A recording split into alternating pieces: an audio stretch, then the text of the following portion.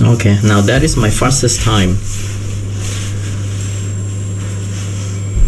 240 and few seconds left only. Without the help of anyone, I do it by myself. So who can beat my record? It's your challenge now.